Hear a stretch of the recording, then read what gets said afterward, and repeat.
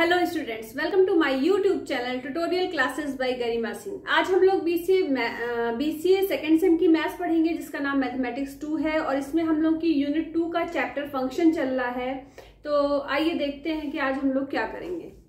तो देखिए types of functions पढ़ना है हम लोगों को। Real function real function f such that a tends to b इसका क्या मतलब है? एक सेट ए है और एक सेट बी है।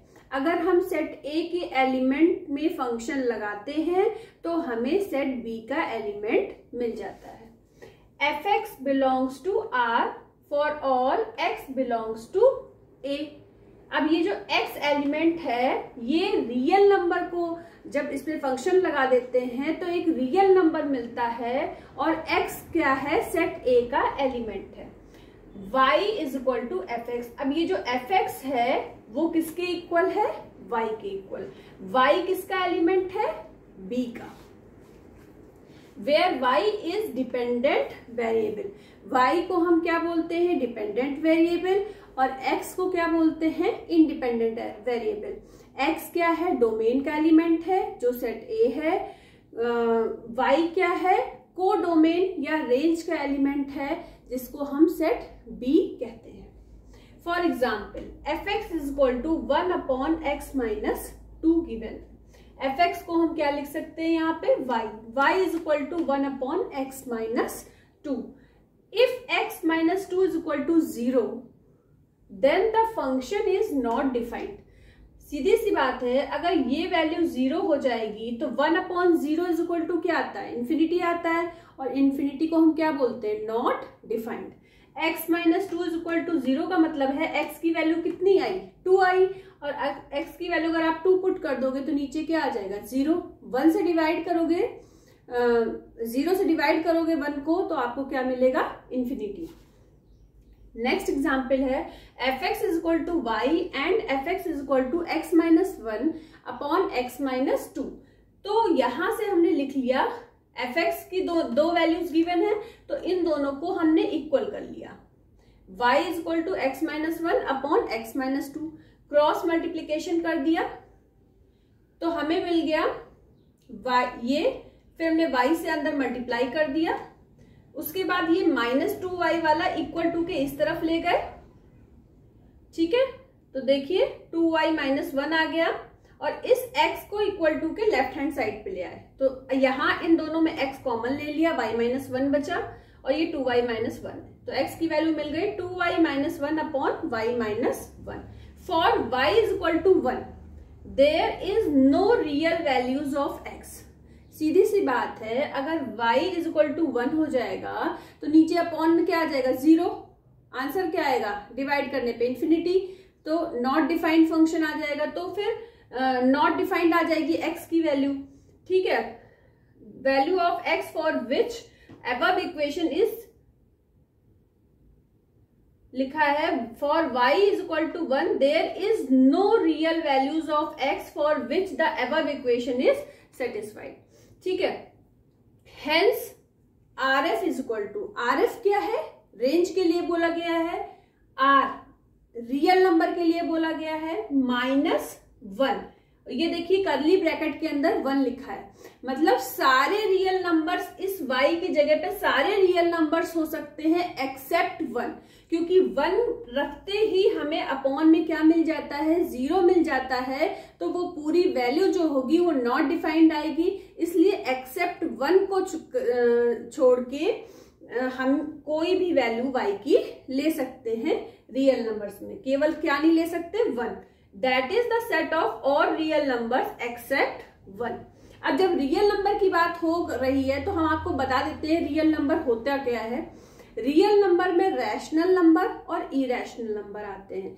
रैशनल नंबर में भी दो तरह के नंबर आते हैं इंटीजर्स आते हैं और फ्रैक्शन में जो नंबर लिखे हुए होते हैं। इरेशनल नंबर में कैसे नंबर्स आते हैं? रूट वाले रूट थ्री पाई पाई जो होता है वो इरेशनल नंबर होता है। अब इंटीजर्स कैसे होते हैं? इंटीजर में ज़ीरो भी होता है माइनस की वैल्यूज़ भी होती हैं और प्लस की वैल्यूज़ भी होती हैं। फ्रैक्शन में इस तरीके से लिखते हैं पी अपॉन क्यू की फॉर्म में। One upon two two point five तो टू पॉइंट फाइव में अगर पॉइंट हटाओगे तो ट्वेंटी फाइव अपॉन टेन आ जाएगा। ठीक है तो ये हमने आपको रियल नंबर्स ऐसे ही बता दिया। पता होना चाहिए कि रियल नंबर्स होते क्या है? रियल नंबर्स में रैशनल और इरेशनल दोनों नंबर्स आते हैं और रैशनल में इंटीजर्स भी आते हैं और फ्रैक्शन वाले नंबर भी आते हैं। ठीक है? ब्लैक बोर्ड को रब कर देते हैं और इसकी पिक डिस्क्रिप्शन बॉक्स में डाल देते हैं और उसके बाद हम लोग नेक्स्ट फिर से करेंगे। ये हम लोग का पेज नंबर वन है। उसके बाद हम लोग पेज नंबर टू करेंगे। ठीक है?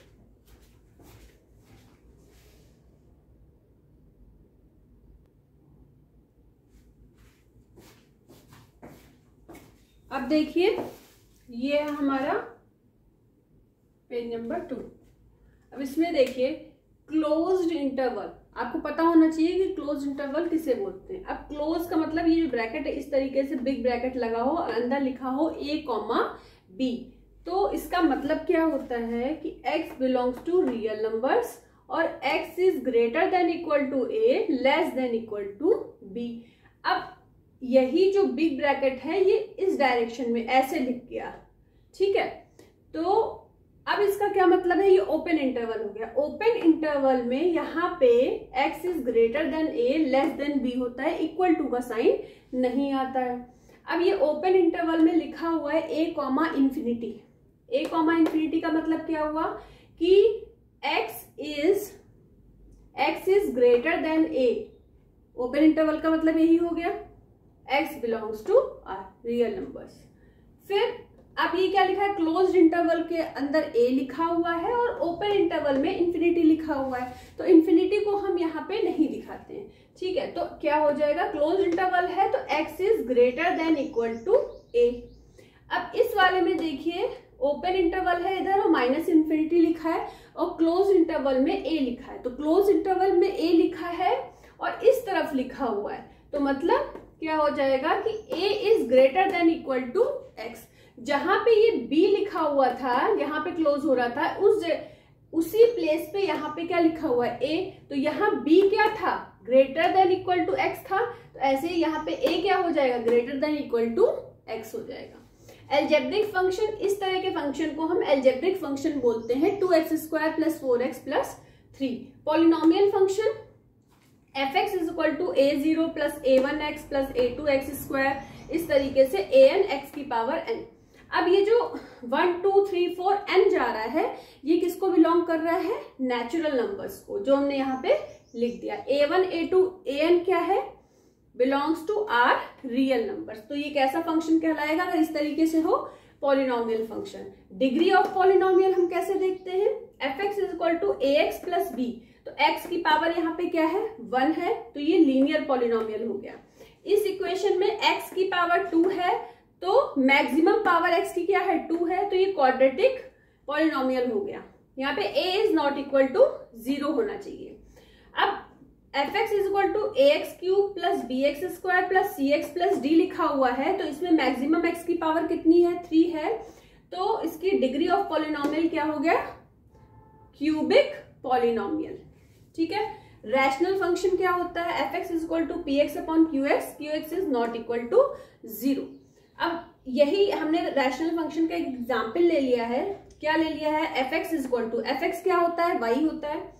X square plus five x plus seven upon x square minus three x plus two is a function जो नीचे वाला फ़ंक्शन था, उसको हमने लिख दिया not equal to zero the domain of function is R minus अब देखो, अगर यहाँ पे ये एफ़ एक्स की फॉर्म में एफ़ एक्स का मतलब क्या होता है? वाई ठीक है वाई इज़ इक्वल टू ये है तो डोमेन निकलेगा। और अगर एक्स इज़ इक्वल टू होता तो रेंज निकलता।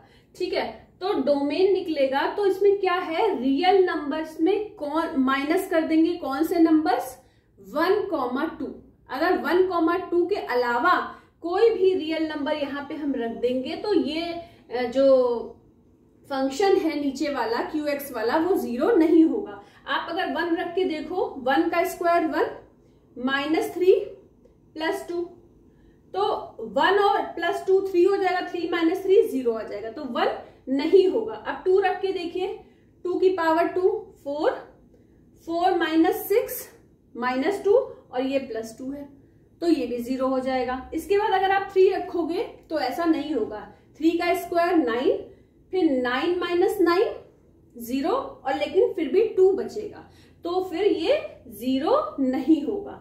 तो कौन से दो नंबर रखने पे ज़ीरो हो रहा है ये वाला फ़ंक्शन वन और टू तो रियल नंबर से हमने माइनस कर दिया करली ब्रैकेट के अंदर लिखा है वन कॉमा टू तो ये इसका क्या हो गया? The domain of the function is this अब ये है f x is equal to second example one upon x की पावर एन अगर एक्स यहाँ पे ज़ीरो हो जाएगा तो फ़ंक्शन नॉट डिफाइंड हो जाएगा।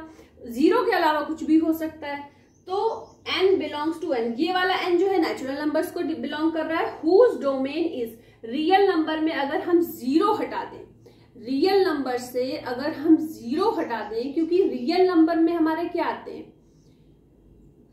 रियल नंबर में हमारे रैशनल और इरेशनल दोनों आते हैं। और रैशनल में इंटीजर और फ्रैक्शन वाले नंबर आते हैं तो जो इंटीजर होते हैं, उसमें ज़ीरो भी होता है प्लस की नंबर भी होते हैं माइनस के नंबर भी होते हैं। तो अगर हम यहाँ पे x is equal to zero ना रखें, बाकी कोई भी रियल नंबर रखें तो ये फ़ंक्शन नॉट डिफाइंड नहीं होगा।